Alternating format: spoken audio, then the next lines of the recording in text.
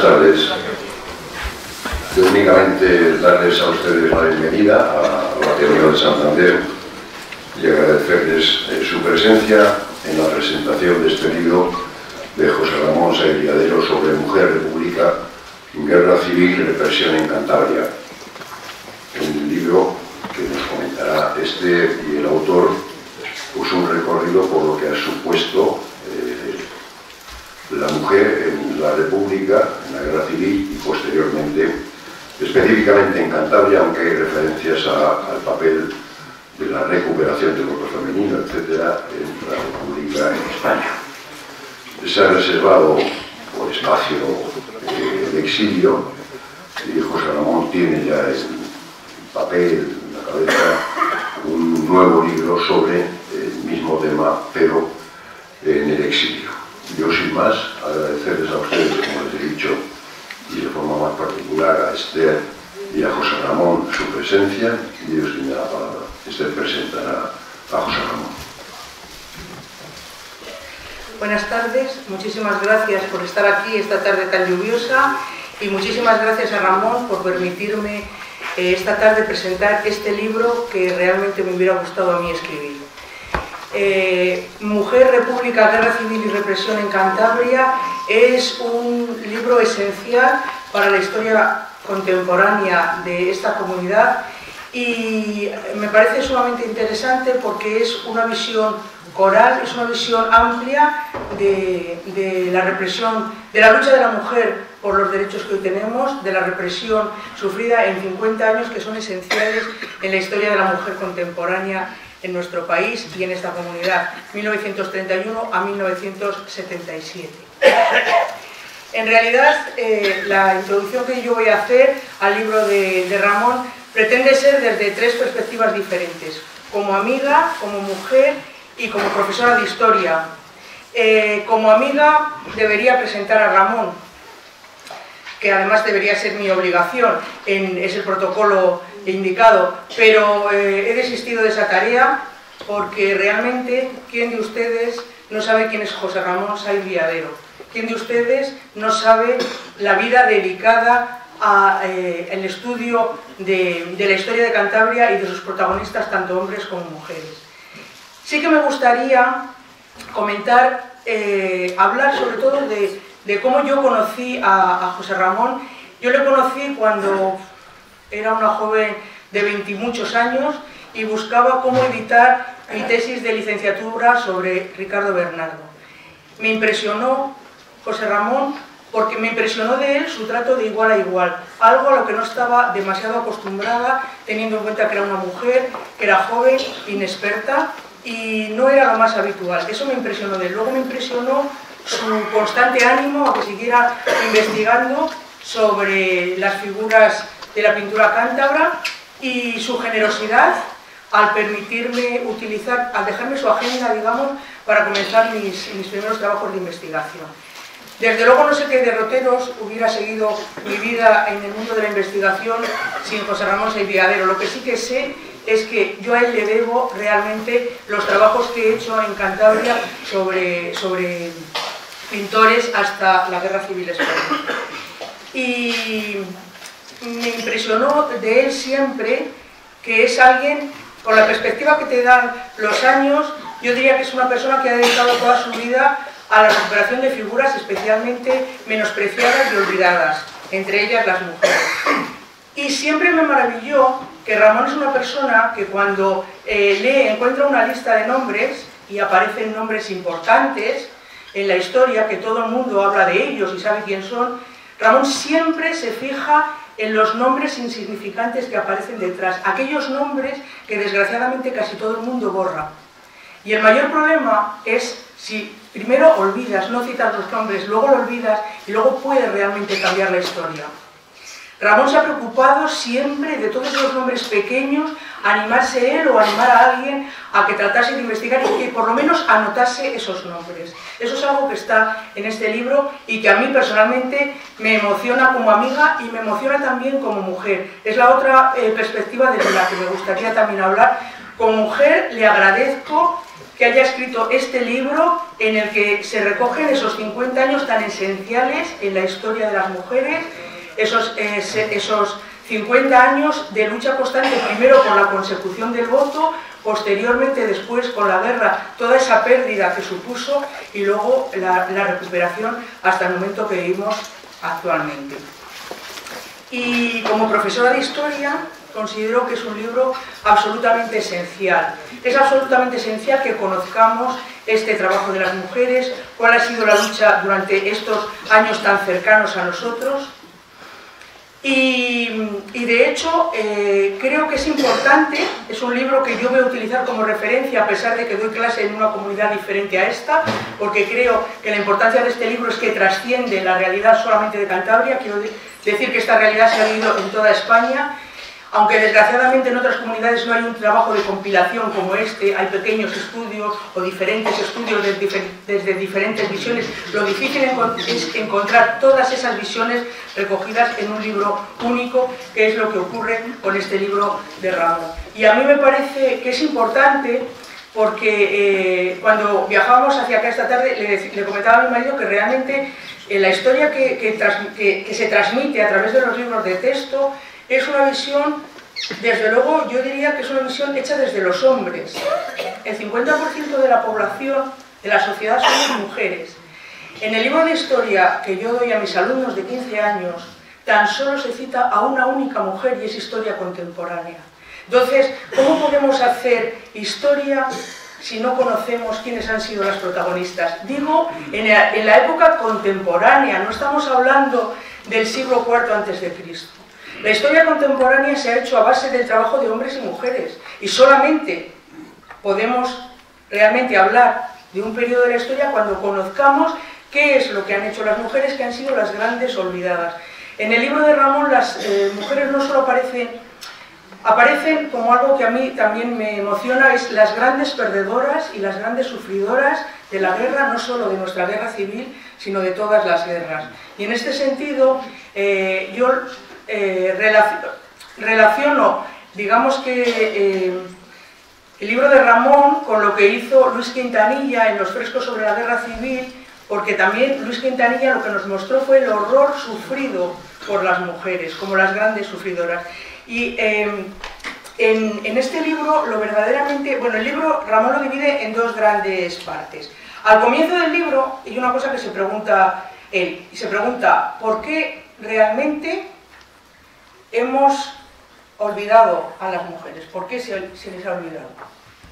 Y él lo dice claramente en el preámbulo, dice, la sociedad entera de alguna manera ha actuado como cómplice de esta actitud al tratar de olvidar unas vivencias que por otra parte ya contaban con la existencia de una distorsión interesada propiciada por las instituciones públicas, la propaganda de sus medios oficiales y la posterior amplificación por parte de sus aldáteres.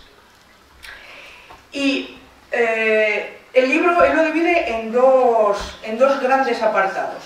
El primer apartado se titula En busca del reconocimiento de una personalidad pública.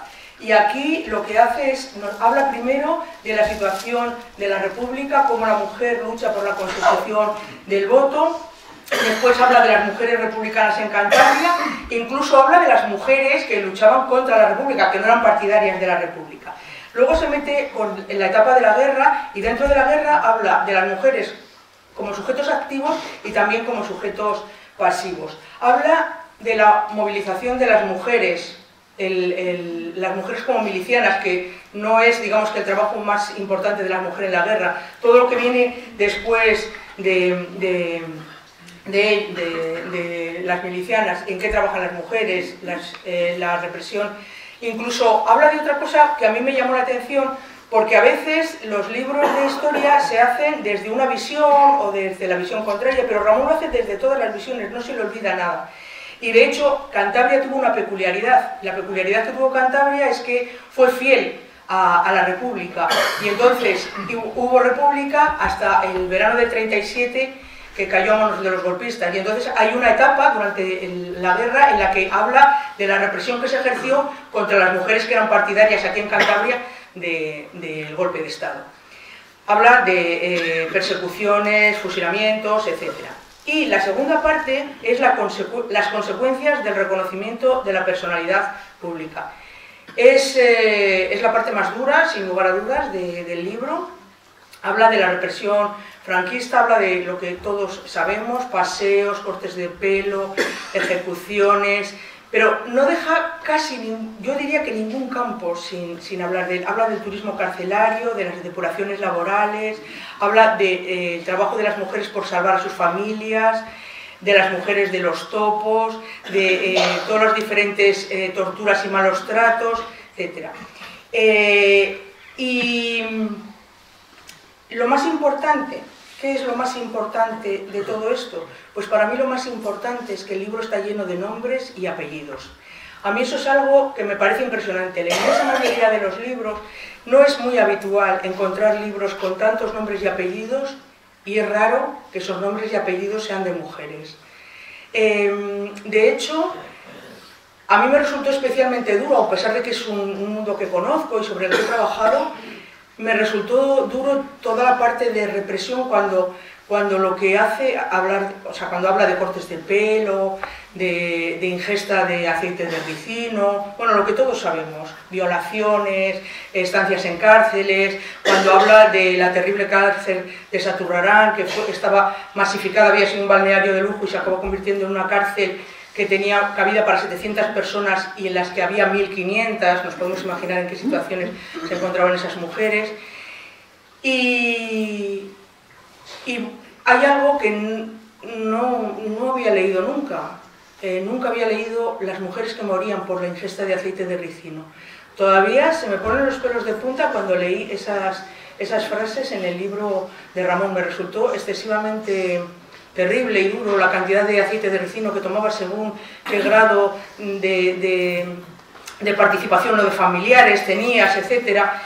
Y mm, los nombres y apellidos para mí es importante porque con esos nombres y apellidos que están aquí, cualquiera puede decidir en un momento determinado seguir trabajando, anotar esos nombres, saber de dónde son, saber qué edades tenían, etc. Y a mí eso me parece que es algo, yo es algo que me molesto mucho en decir a mis alumnos. La mayoría de las veces, eh, en cualquier situación de la vida, eh, nos están bombardeando con números, nos bombardean con estadísticas, con datos, pero esos datos, esos números, se nos quedan casi siempre ahí, como en el cerebro. Es difícil que esos números los llevemos al corazón y sean capaces de transmitirnos algo. La historia nos debe transmitir algo, lo importante es que nos pongamos en los pies de los otros. Pues cuando lees los 160 nombres de mujeres y niñas que murieron en los bombardeos en Santander, a mí me parece como una especie de, salmo de dolor, es como cuando estás viendo todos los nombres, todo el listado de las personas que murieron en los campos de concentración, cuando ves los nombres y los apellidos y al lado las edades, es imposible quedarse impasible ante esa situación. Entonces eso es lo que a mí más me impresiona realmente. Eso y las fotografías. Ramón siempre se ha preocupado por poner rostros a, los protagonistas de la historia y lo hace con cualquier eh, con personalidades no solo con Concha Espina que sí que hay bastantes fotos de todas las edades suyas sino de otro montón de mujeres y eh, a mí me resultaba también especialmente eh, duro todas las historias de torturas, violaciones, etcétera, sobre todo por lo que decía, por esa relación de nombres y apellidos, porque cuando leía los nombres y apellidos pensaba que un montón de personas al leer el libro encontrarán ahí a sus seres queridos.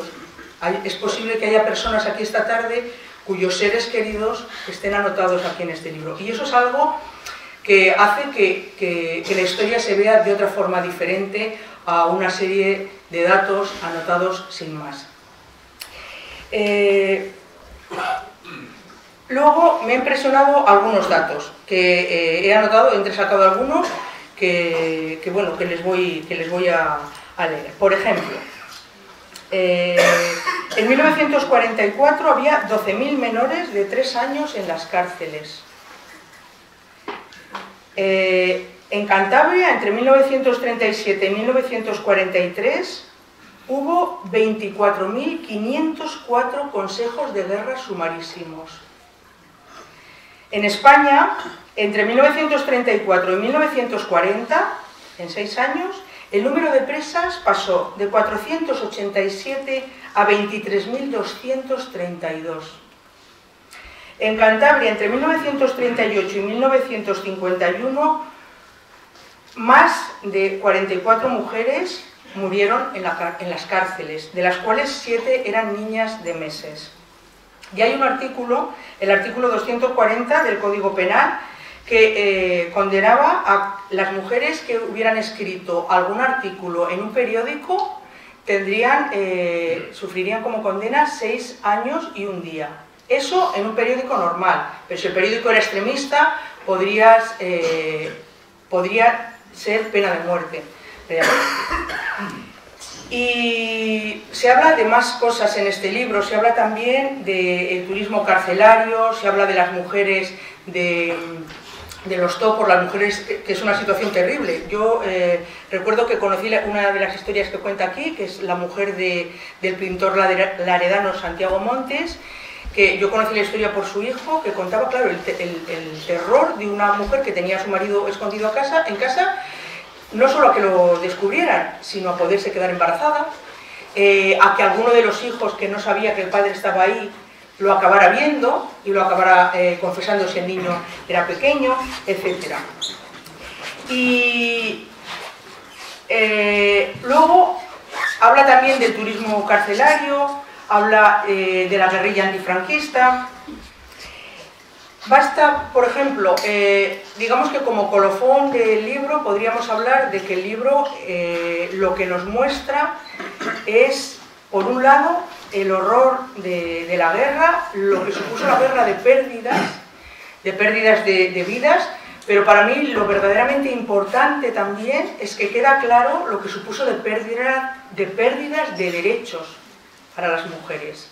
Las mujeres que habíamos empezado a conseguir un trato de igualdad más o menos entre, en, la sociedad en, la, en 1931, que había una constitución, la primera constitución democrática que aparece, que tenemos en nuestra historia, porque otra cosa que iba a haber comentado antes, que luego ya se me ha pasado, es, por ejemplo, en los libros de historia tanto en los libros de secundaria como en los libros de bachillerato, con frecuencia se habla de constituciones democráticas en España. No hay una constitución democrática antes de 1931. No puede haber una constitución democrática cuando el 50% de la población no tiene derecho al voto. Pero eso se lee en los libros, no de una editorial, de la práctica totalidad de las editoriales. Algo pasa en una sociedad que es capaz todavía de tener eso anotado en sus libros de texto para sus estudiantes. Y eh, lo que me parece verdaderamente mm, interesante, les leo aquí, es em, el ideal de mujer que en este país tuvimos entre 1937 y 1900, digo, en 1937 en Cantabria, el resto en el 39, y 1977 era el ideal de mujer eh, el de la sección femenina, el de Pilar Primo de Rivera. Anota aquí, Ramón, algunos, algunas... Eh, les leo. Todos los días debemos dar gracias a Dios por habernos privado a la mayoría de las mujeres del don de la palabra. Porque si lo tuviéramos, quién sabe si caeríamos en la vanidad de exhibirlo en las plazas.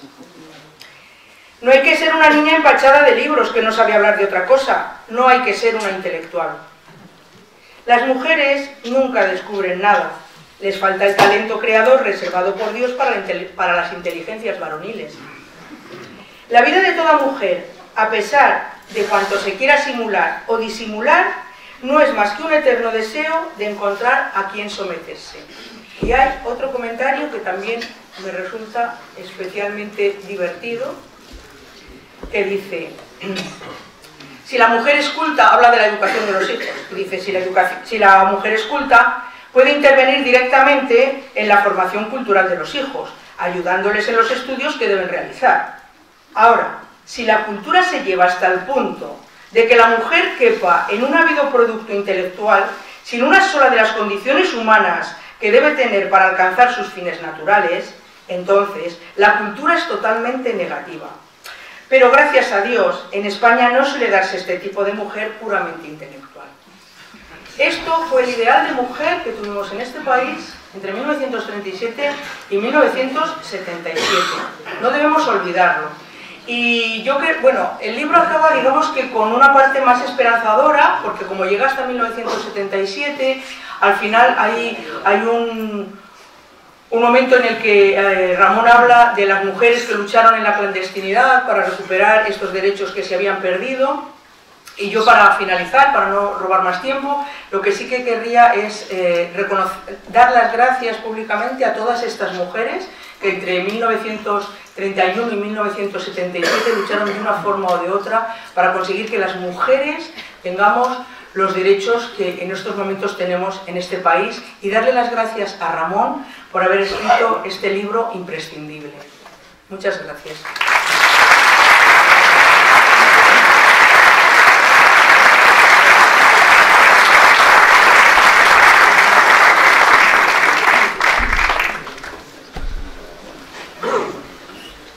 Bueno, pues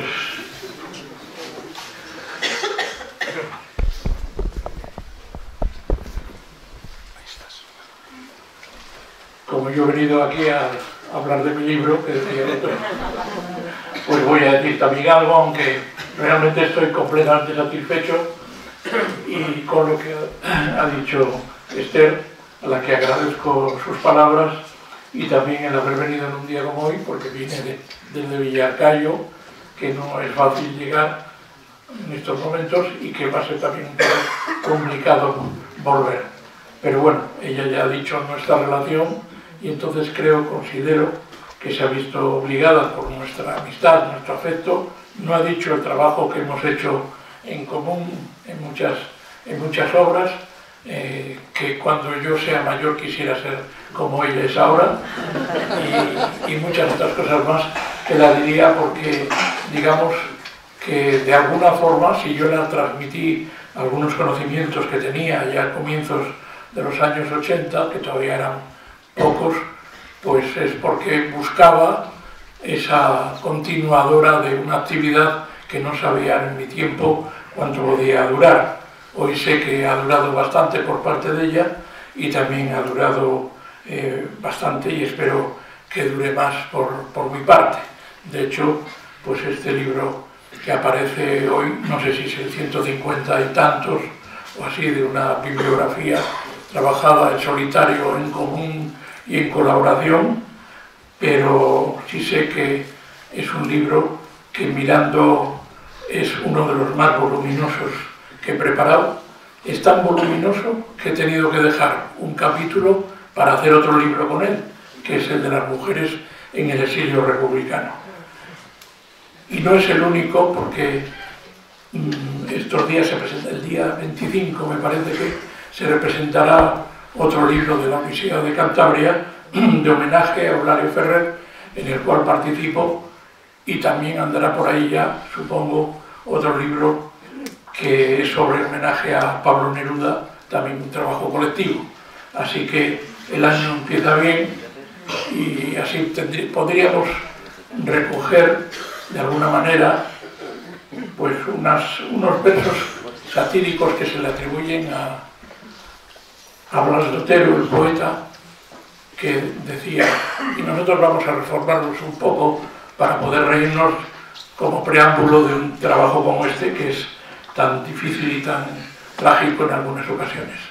Y decía, maldición, solo estamos a 10 de enero y ya me trae el cartero tres libros de Ramón Viadero. Como verán ustedes, ya lo he alargado un poco porque era sobre otro poeta que era sobre Mario Ángel Marrodán, que tenía esa también costumbre de amargar el principio de año de sus amigos enviándole los, libros. Bien, esto es la parte, digamos, un poco jocosa, festiva de, de este trabajo, que me ha llevado un año intensísimo. Creo que no he trabajado tanto durante tan poco tiempo de mi vida, un año, para poner a punto este libro, que no se hace en solitario, que se hace ordeñando las ubres de los historiadores que me han precedido en este tipo de investigaciones y que quedan debidamente reflejados ahí, en algunos casos yo diría que están hasta vampirizados, porque han hecho trabajos, algunos trabajos de campo que son memorables y que son verdaderamente pioneros en esa actividad. La Universidad de Cantabria en su momento podía haber eh, destinado una parte de sus estudios a lo que sería la historia oral aprovechar que todavía vivía la gente y que podía contar historias que nunca vinieron en los periódicos de su tiempo, historias que nunca aparecen en los documentos de nuestros tiempos. Pero no fue así, simplemente hubo un profesor que recuerdo siempre con mucho cariño, que fue Vicente Fernández Benítez, que dedicó parte de su trabajo a ir investigando y preguntando a la gente qué había pasado de verdad durante la guerra civil en un bando y en el otro porque eso es otro que ya ha dejado bien eh, esbozado eh, Esther en esa presentación, que he intentado reflejar las vivencias de las mujeres en los dos bandos. ¿Por qué razón? Pues por la misma que él trabajaba entonces con esa intensidad de recuperar recuerdos que, se iban perdiendo ya con el paso del tiempo. Y es que la mujer ha perdido siempre en las guerras. Realmente ya nacía como perdedora nacía como un segundo plato de una mesa que estaba servida por ellas, pero para, eh, para saborearla los hombres que son los que iban a hacer luego la crítica gastronómica, curiosamente. Así que he querido recuperar ese, ese recuerdo de esas mujeres a través de ellas mismas, las que han sobrevivido en este tiempo tan difícil para mucha gente, y no de los herederos o de las herederas. ¿Qué me he encontrado en esos tiempos? Pues mucha dificultad, lógicamente. Mucha dificultad porque todavía con el paso de los años, de los muchos años, hay mucha gente que dice, más vale no hablar de ello, qué recordarlo, para qué remover la memoria histórica, todas estas cosas que tendrán su derecho a decirlo, la gente debe decir lo que piensa, también pensar lo que dice, que eso no suele ocurrir, pero lo que sí es verdad es que solamente sabiendo lo que ha ocurrido podremos tener la oportunidad de no repetir los fallos que, se han manifestado aquí o fuera de aquí. Quiero decir que la historia de nuestro país, la historia que se habla a veces como una lección de democracia y de bien hacer que fue la transición, pues que se traslade a otros lugares para que no repitan los errores que tuvimos nosotros con anterioridad. Quiero decir, como un pequeño inciso, que este libro está escrito no solo con la documentación de lo que se ha recogido en los libros, con las entrevistas, no solamente de ese año, sino desde muchos años atrás que había realizado, sino también durante el año 2016 con un sentimiento profundo de pena, porque cada día alternaba la redacción de sus páginas con la visión de las imágenes que nos daban de las guerras dentro del Oriente Medio y dentro también de eh, ese traslado del horror y de, la insolidaridad que se ha producido en una Europa que yo creía que estaba civilizada después de la Segunda Guerra Mundial. Y así proyectaba las imágenes de los años 36-39 y después de los años 39 hasta el 45 que se habían producido por Europa, por Francia, por Alemania, por los campos de concentración y los campos de exterminio, y la proyectaba ahora diciendo, no hemos aprendido nada, en absoluto. No solo no hemos aprendido nada, sino que estamos dispuestos a cometer los mismos errores ya conocidos y otros por, venir, que son nuevos, pero no, que no son muy diferentes. Fíjense, cuando veo a ese señor Trump, al que le, podría envidiar solamente la pelambrera.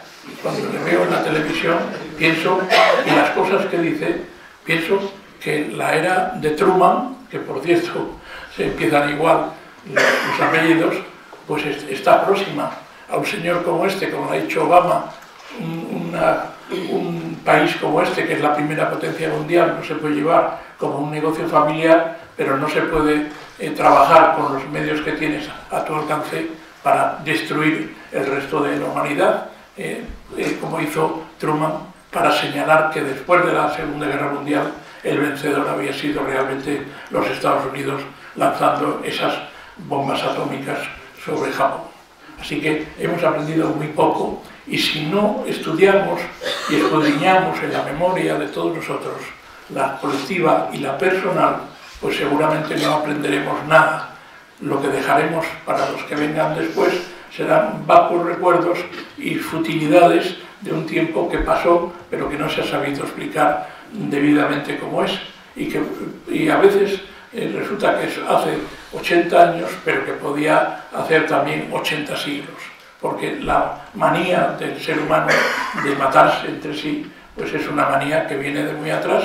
Antes había una supervivencia para conseguir los pocos alimentos que se podían conseguir y esa supervivencia era golpes de porra, pero ahora la supervivencia se produce con métodos mucho más sofisticados, pero sigue siendo igual. El poderoso quiere acabar con el débil, pero no del todo, porque el poderoso vive del débil.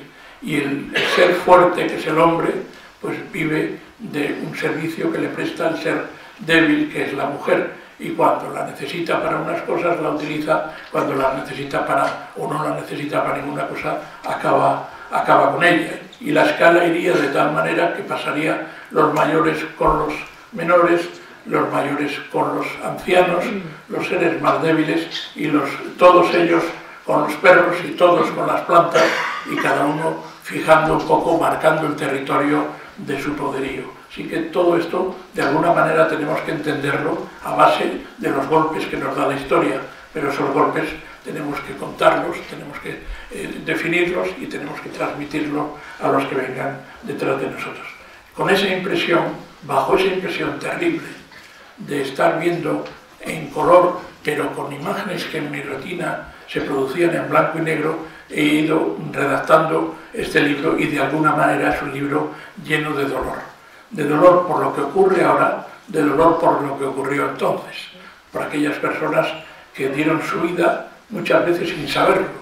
Esta es una de las paradojas de las mujeres, que así como los hombres protagonizaban muchas de las hazañas o de las eh, terribles eh, venganzas que se producían, pues las mujeres estaban en una segunda fila pero pagaban las consecuencias. Primero, como mujeres que querían ser como tales. Se ha hablado aquí, la mujer quería tener derecho al voto y hay un capítulo que se dedica a la larga lucha por la consecución del voto femenino en una sociedad que desde 1890 se hablaba del voto del sufragio universal. Cuando dejaba fuera de, de la posibilidad de emitir ese voto a las mujeres, que son, como todo el mundo sabe, el 52% de la población.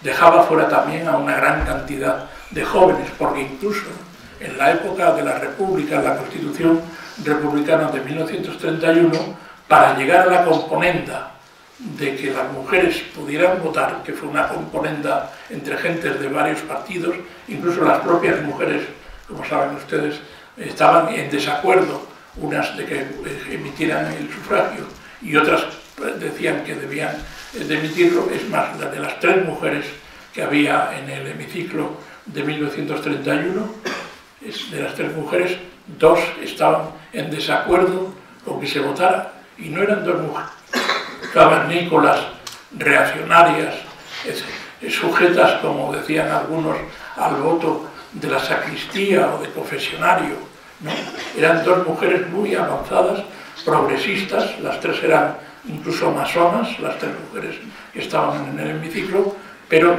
dividían su criterio porque unas consideraban que en ese momento la mujer no estaba preparada para emitir el sufragio libremente, y la otra, que era Clara Campoamor, que por cierto descendía de, de Cantabria por vía paterna, pues la otra consideraba que ahora o nunca, porque las cosas que se hacen en diferido, que diría la otra, esas cosas acaban por no hacerse, por no hacerse nunca. Se van dejando, se van abandonando y nunca aparece la ocasión. Entonces, la ocasión tiene que ser en el momento en que se decide, que se considera que es fundamental hacerlo y que además que las condiciones son propicias para tal. Tengan en cuenta que España fue, si no recuerdo mal ahora, de memoria, el país número 21 en aceptar el que la mujer pudiera votar en igualdad que, el hombre. Eh, pero todo había empezado en 1890 y tantos, cuando en otros países, algunos tan lejanos como Nueva Zelanda, del Nuevo Mundo, se aprobaba el derecho al sufragio femenino.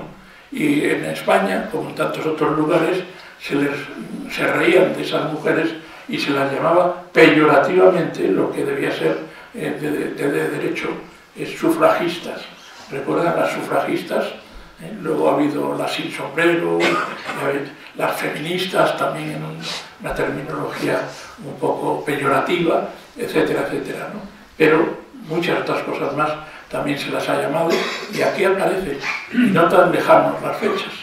Por ejemplo, algunas mujeres recuerdan en sus detenciones como militares, eh, por ejemplo, o gente de los cuerpos de seguridad del Estado, en este caso de la Guardia Civil, cuando las detenían, dice, puta, era la palabra más suave que nos daba, pero sobre todo la más reiterativa, la más repetida. Y decía, éramos putas porque éramos rojas, así nos consideraban. Entonces, la mujer que buscaba alguna cosa fuera de lo común, pues estaba considerada en el terreno político una desafecta, pero en el terreno moral todavía mucho peor. Y no es algo tan lejano. Miren ustedes los periódicos de hoy o de ayer.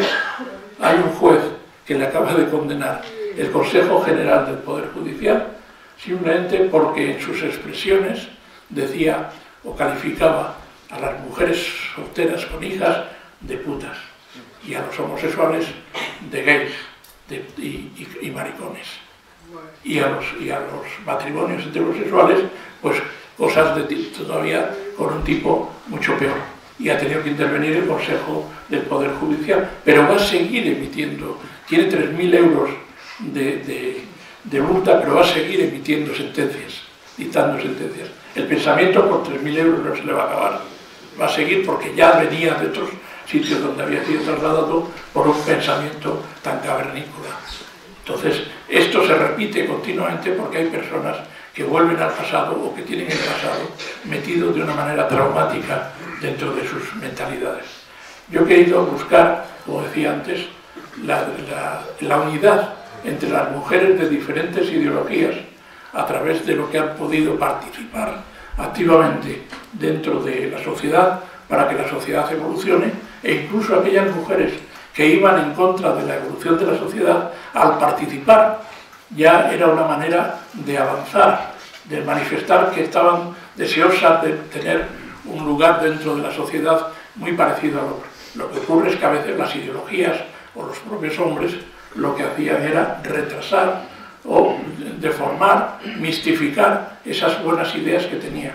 Estábamos hablando antes de que la República incluso moderó un poco el derecho más amplio al voto y lo, bajó, lo subió hasta los 23 años.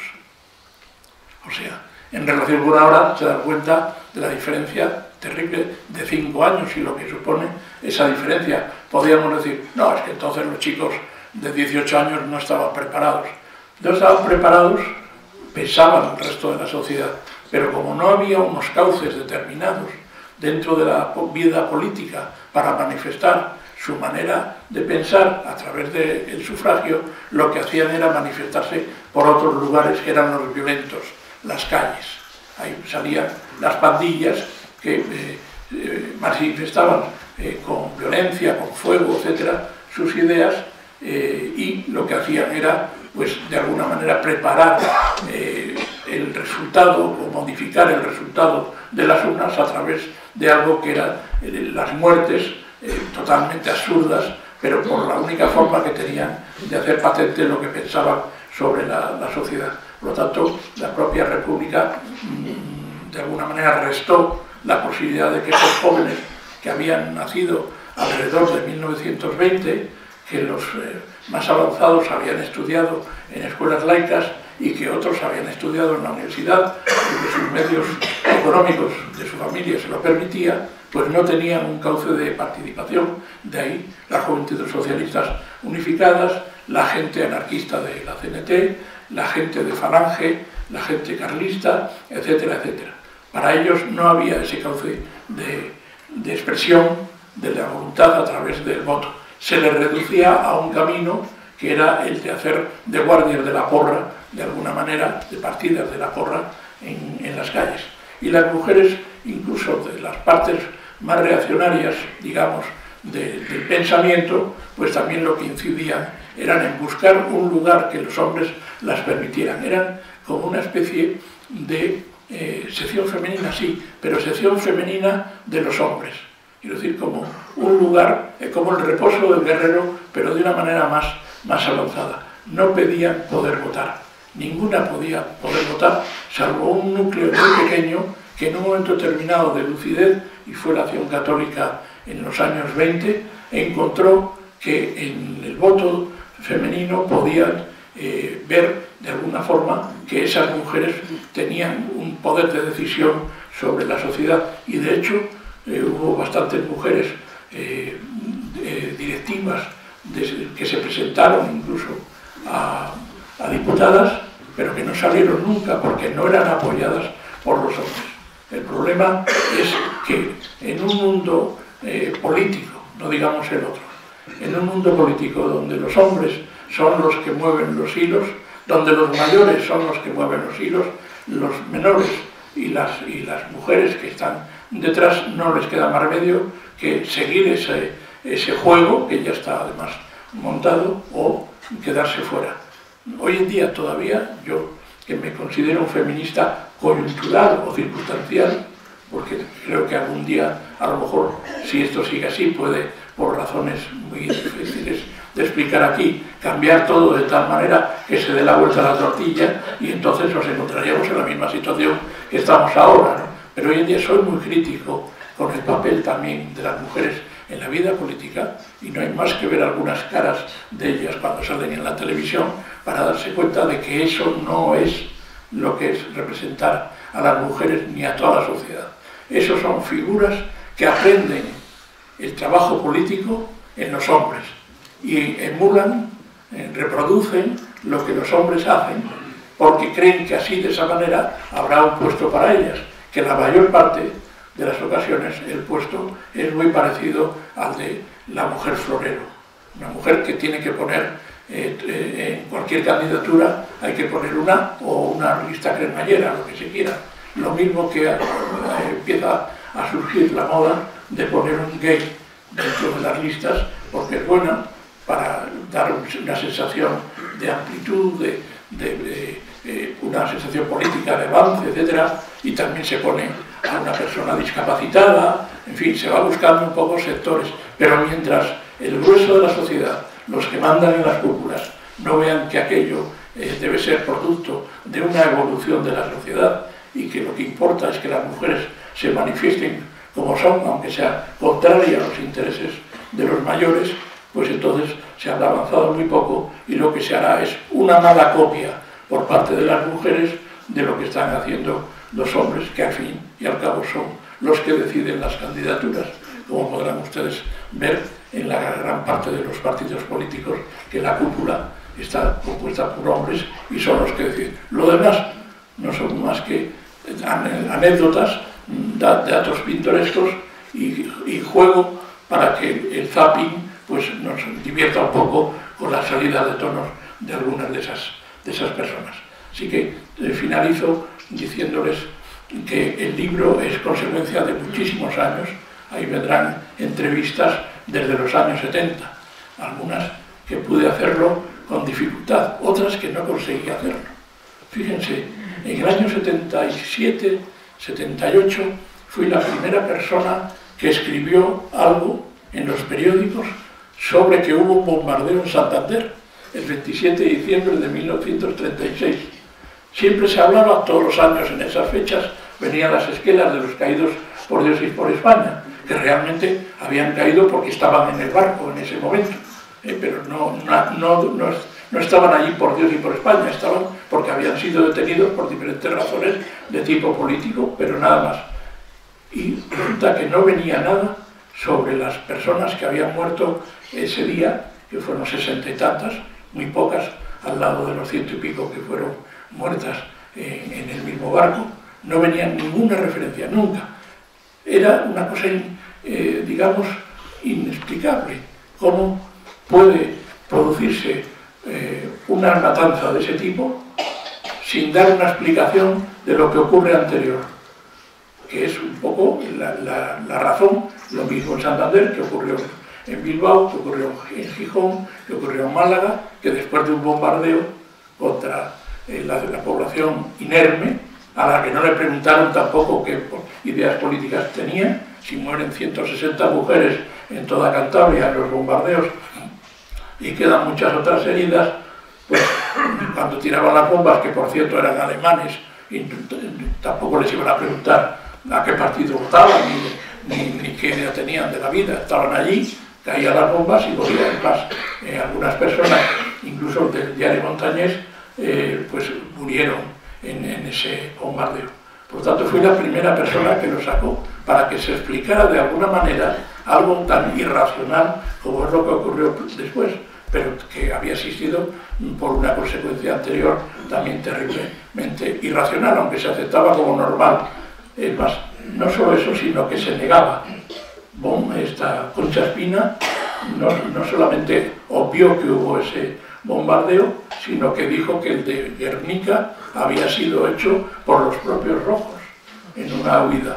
Y ahí quedan los libros, pero muchísimas versiones originales decían que las propias tropelías que ocurrían en un momento determinado dentro del mundo de republicano, pues era hecho por los mismos rojos desesperados. Por lo tanto, la historia que teníamos era una historia que no servía fui directamente a uno de los focos de las muertes, donde más muertes se produjeron, el barrio obrero del Rey, que, se llamaba. Y quise hablar con supervivientes de entonces. Y me encontré a unas señoras allí sentadas tomando el sol en aquella media ladera que es estupenda para los días de, de verano y para el día 27 de diciembre del 36 que hacía un día de sur estupendo. Y al preguntarles que, que sabían de aquello, pues no quisieron hablar. Y alguna me dijo, mire, no voy a ser que me quite la pensión. Claro, ahora es una cosa de reírse, pero una señora que vive, que ha conseguido superar una guerra, una posguerra, un bombardeo y todo eso, pues lo único que le queda es la pensión. Y en aquellos momentos del año 77, 78, 79, pues efectivamente el miedo que había era que lo poco que había conseguido pues se lo quitaran por meterse en algo que consideraba que podía ser peligroso. Es más, un hijo de aquellas señoras salió rápidamente y dijo, ¿qué hace usted aquí? ¿Por qué viene aquí a remover esto? Deje usted en paz, tranquilo, a esta señora se Muy bien. Hasta ahí hemos llegado, publiqué el, artículo, luego se recogió en un libro y al cabo de un tiempo estando en la biblioteca municipal de Santander, apareció un individuo que andaba, me andaba buscando. Le habían dicho que yo andaba por ahí entre los periodos de aquel tiempo y me dijo, mire, me gustaría que me dijera usted dónde salió la noticia de ese bombardeo. Los cuatro periódicos que había en todo Santander dieron la noticia a primera plana. Y digo, pues esto está en Cantabria, con el diario Montañés, en la voz de Cantabria y en la región. ¿Me puede usted enseñar y tal? Y digo, ¿por qué tiene usted ahora tanto interés en saber de esto? Dice, es que el gobierno de Felipe González ha dado un millón de pesetas a las, víctimas de aquel entonces y yo tenía unas gentes supervivientes y tal cual, no sé. Pues las miserias humanas son tales, pero también es verdad que ya se había llegado a una situación en que el miedo había desaparecido en parte, lo único que quedaba era el reciente intento de golpe de Estado del teniente coronel Tejero. Así que mm, vemos que siempre andamos con miedos y lo que no se consigue y lo que no se deja claro en una ocasión, pues queda impendiente y de alguna manera aparece más adelante. Así que eh, yo he intentado recuperar la memoria de todas esas personas y posiblemente a muchas de ustedes les resultará atosigante el que tantas gentes cuenten en breves líneas lo que les había pasado en un momento determinado en un lugar de trabajo, en el lugar donde vivían, con unos vecinos, los que se aprovecharon, aquellos que utilizaron para su propio provecho la desgracia de los demás, aquellos que eh, sacaron lo más terrible y lo más vil que había dentro de ellos, por ejemplo, las violaciones, violaciones que hubo en las dos partes, pero violaciones que de ninguna manera fueron institucionales, fueron violaciones por parte de gente que aprovecharon el, ruido que había en aquel momento para llevarse por delante a aquellas mujeres que, hacia las que tenían por ciertas apetencias, lo mismo que, que se quedaron muchos con las posesiones de otros, unas veces porque les consideraron malditos, otras veces porque les metieron en la cárcel,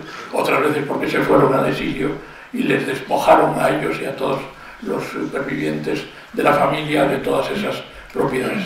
Las guerras traen como consecuencias el abandono de las propiedades y el, dejar inerme a la población en manos de aquellos que pueden servir. Queda finalmente, no ha hecho mención a ello eh, pero queda una historia tan común entonces como es el del extraperlo. ¿Recuerdan ustedes? El extraperlo. Fue una perversión en los años 40 de una expresión que venía de los años 30, que ya, ya sí era también eh, pervertida en la, de la versión original. En los años 30, el partido de Lerroux, que era un partido inicialmente de comecuras y que decía que habrá que alzar los velos de las doncellas para convertirle de, de, madres, eh, de hermanas en madres eh, y de vírgenes en, en mujeres, etcétera, etcétera ese, grupo, una vez que llegó al gobierno, se convirtió en el mayor estafador política y económicamente. Y entonces a las actuaciones de parte de esos miembros del gobierno se les llamó extraperlistas por una idea que había del extranjero de la palabra extraperro.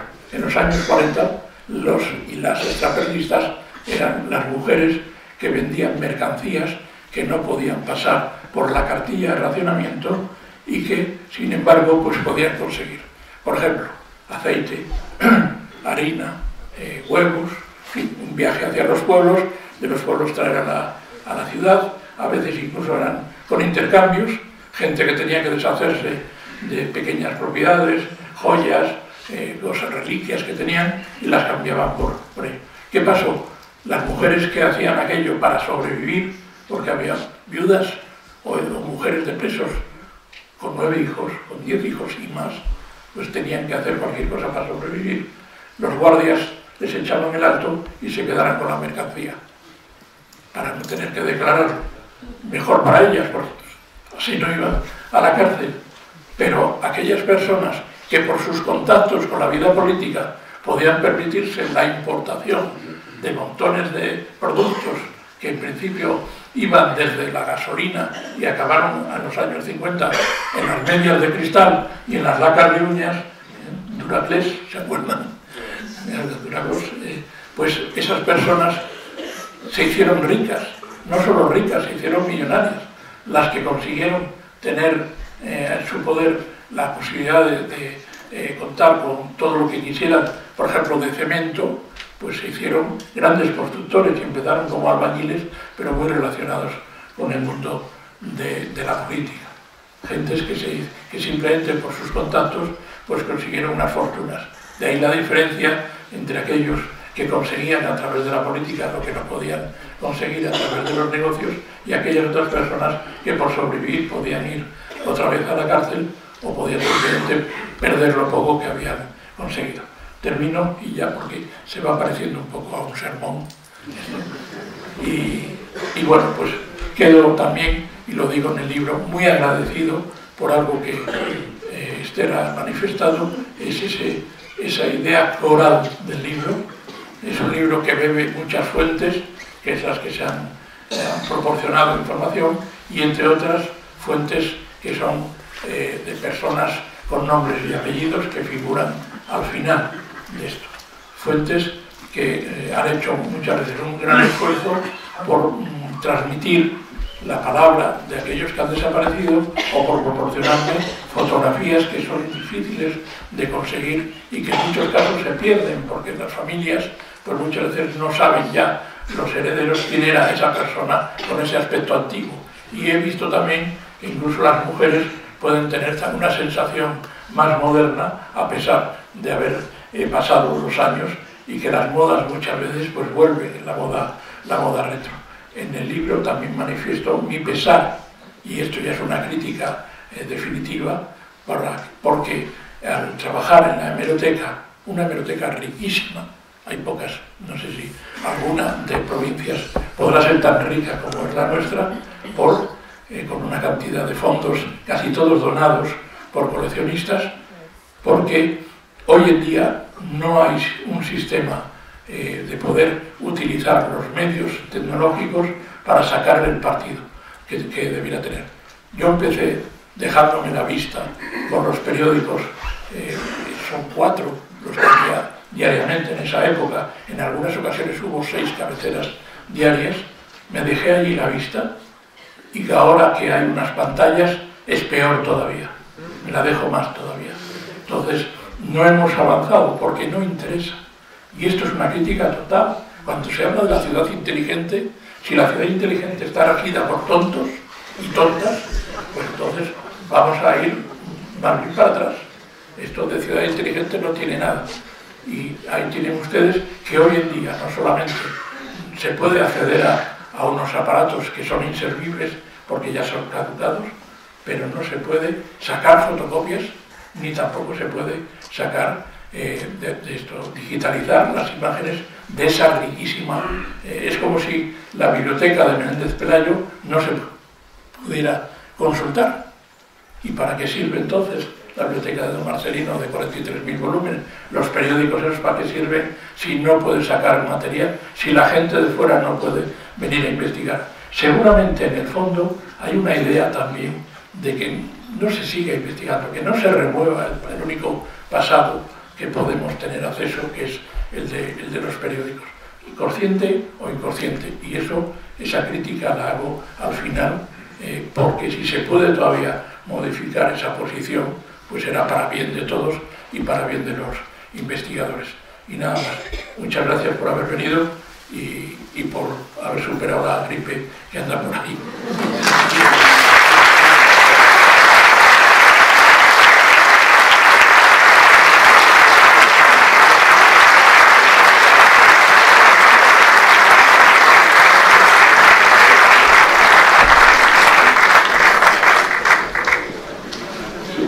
Gracias Esther, gracias José Ramón. Y ahora si alguno de ustedes quiere hacer alguna pregunta, insisto, alguna pregunta, pues tiene la oportunidad.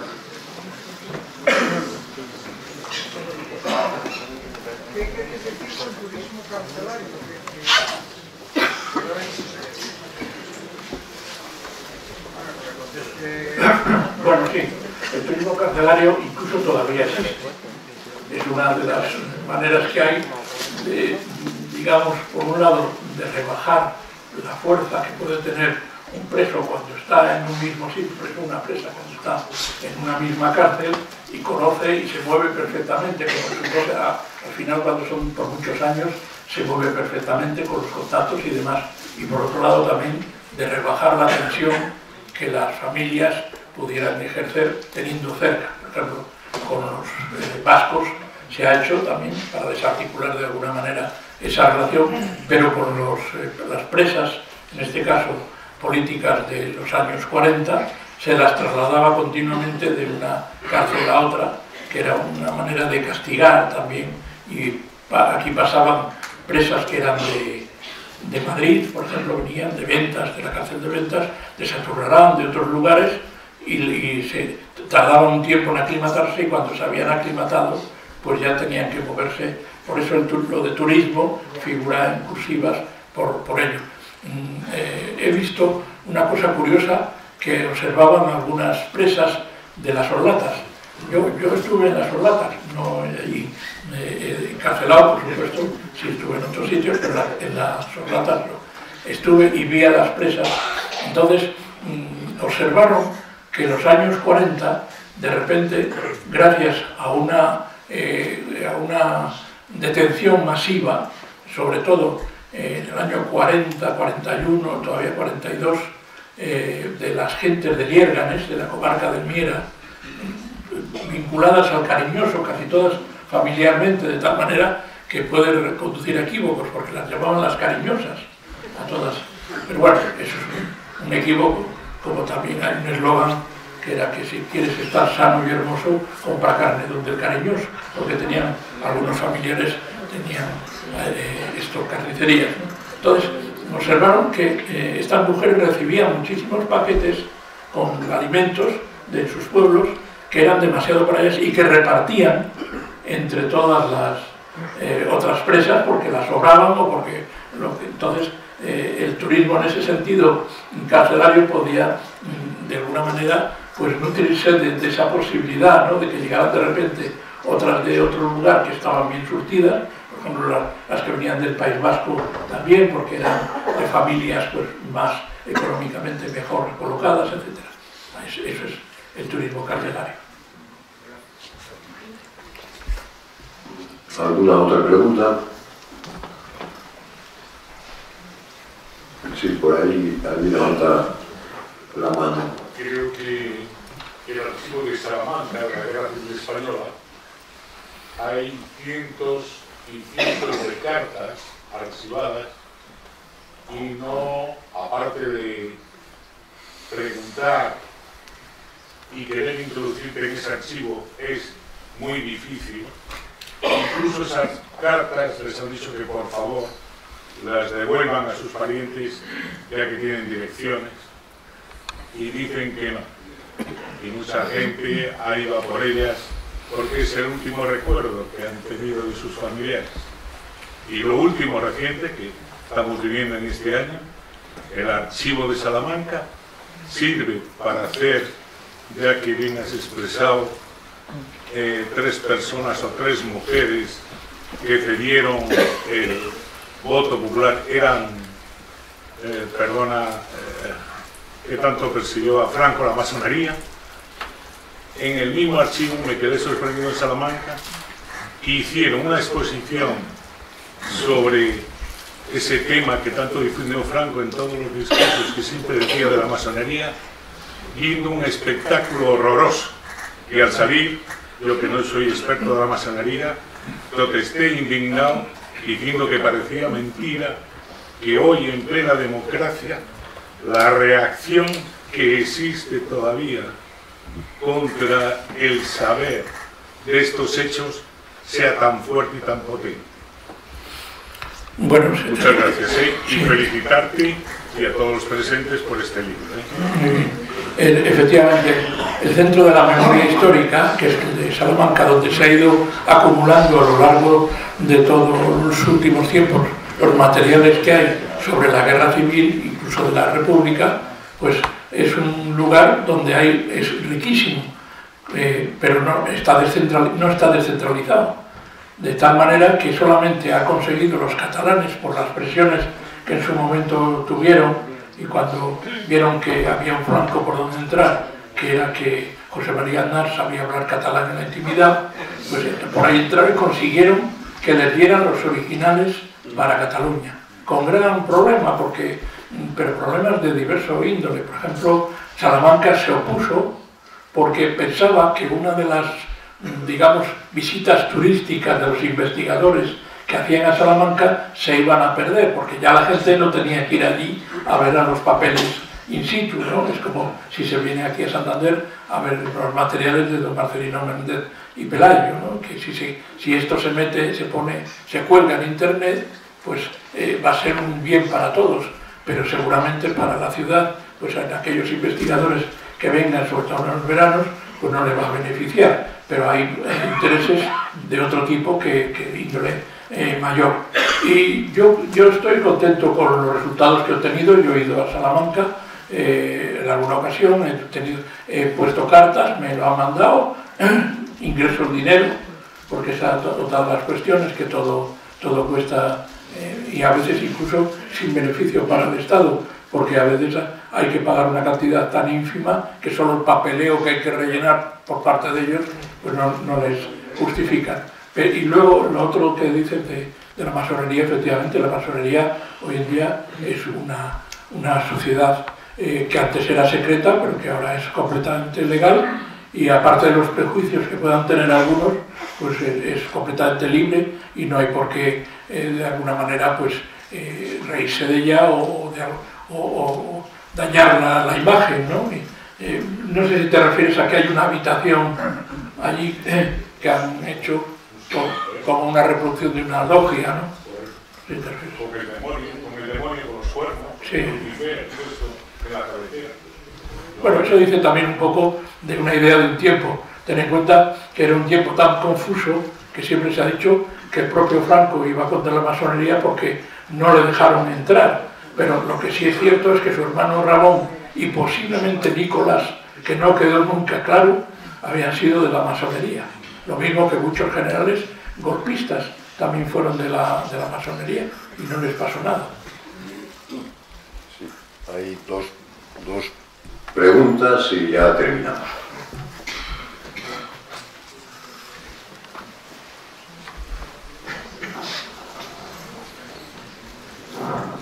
Ramón, has investigado si en los campos de concentración que hubo en Cantabria hubo mujeres y en qué condiciones estaban? Sí, no, no he visto en, en los campos de concentración eh, uno de ellos era la Magdalena, otro fue la Plaza de Toros, pero son campos de concentración coyunturales en los primeros momentos. Y otro era el de Corbán, también. Luego había por la región, pero en los campos de concentración no he encontrado ninguna mujer. Así como ha hecho una lista de las mujeres que pasan por las prisiones, dentro de las que he conocido, incluso las que mueren en prisión, porque es otro dato que nunca suelen tener en cuenta los historiadores, que hay muchas mujeres que mueren en prisión, ellas y sus niños menores, porque hay una ley que les permite hasta los tres años tener a los niños menores. Así que eso sí lo he investigado, lo otro no he encontrado en ninguna en, estos casos. Ramón, aquí. Hola, buenas noches. Eh, si me tuviera que recomendar un libro que resumiese la Segunda República, eh, ¿cuál sería? Hombre, hay de, tienen Stanley Payne, que es un historiador bastante neutral, pues tiene, bastante, tiene unos cuantos, o, o, varias ediciones del mismo libro en algunas ocasiones. Está Southworth, que también tiene algunos otros libros, pero yo creo que no hay el libro definitivo como intentó en su momento Hugh Thomas hacer sobre la Segunda República. No hay el libro definitivo. ¿Por qué motivo? Porque la información que se está produciendo en los últimos tiempos es tan grande que sería necesario eh, estar revisando eh, en todo momento. Por ejemplo, incluso la terminología que se utiliza dentro de los libros ha quedado totalmente caduca. Ya no se puede hablar de la misma manera a unas personas por sus ideas, por sus tendencias, que se hablaba al principio.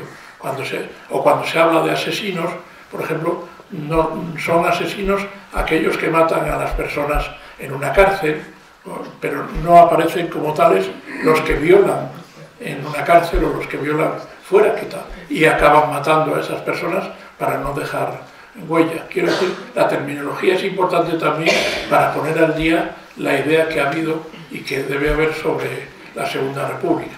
Y eh, eh, esto además eh, hoy en día es todavía tan patente la desmemoria, pero al mismo tiempo la misificación, que pongo un ejemplo. Los matrimonios gays. Es incomprensible en sus tiempos. Se persiguió no, no solo los matrimonios incomprensibles, sino se, se persiguió a los gays a fondo y además se creó una ley que se llamaba la ley de, de,